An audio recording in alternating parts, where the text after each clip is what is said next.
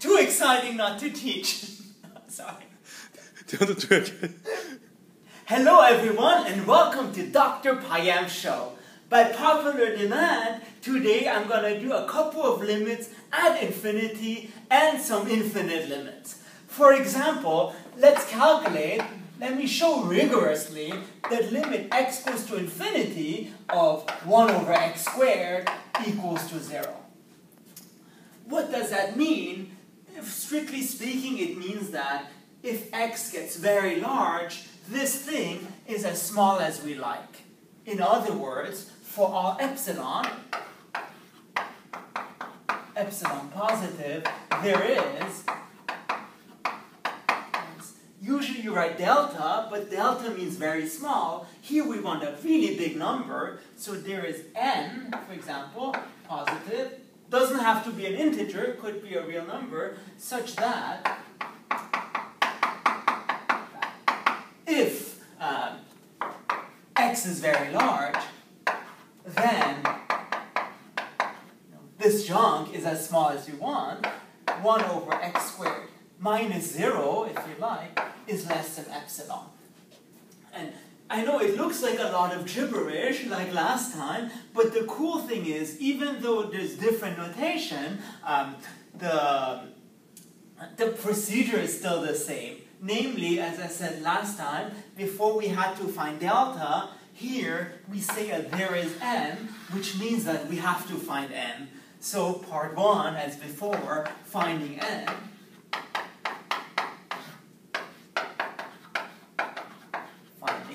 So, like the sequel to Finding Nemo, you know, here it's a big Nemo, you know, a huge one, okay? And so we want to find n such that if x is large enough, then this is very small. So let's start with this, with this sucker, if you like. So, um, in other words, 1 over x squared less than epsilon, well, we can actually solve this. It means that uh, one, this thing is actually positive, so we can remove the absolute value. So it implies 1 over x squared is less than epsilon, and we can solve for x.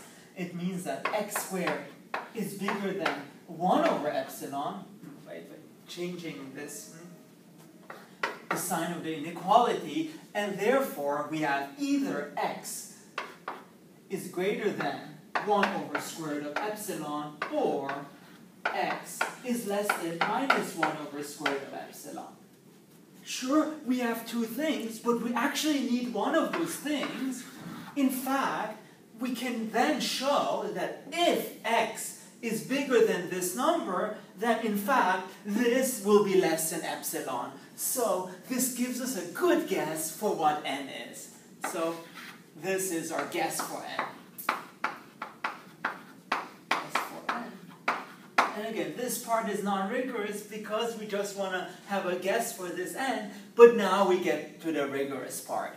So, part two is our actual proof. So that was our scratch work. Now we have our proof. Our proof. So, abracadabra, let epsilon be positive epsilon be positive, and let n be what we found before, and be 1 over square root of epsilon, and suppose that x is bigger than n.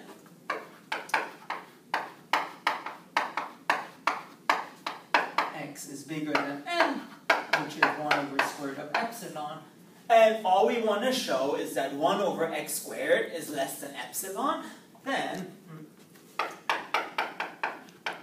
then we just continue like that. Well, x is bigger than 1 over square root of epsilon, so x squared, if you square both sides, is bigger than 1 over square root epsilon squared, because, which becomes 1 over epsilon. Sorry about that. And then all you have to do is take the reciprocal, because you want uh, 1 over x squared. So 1 over x squared is less than epsilon. And finally, all you have to do is to put absolute values. So again, because this is positive, the absolute values don't matter.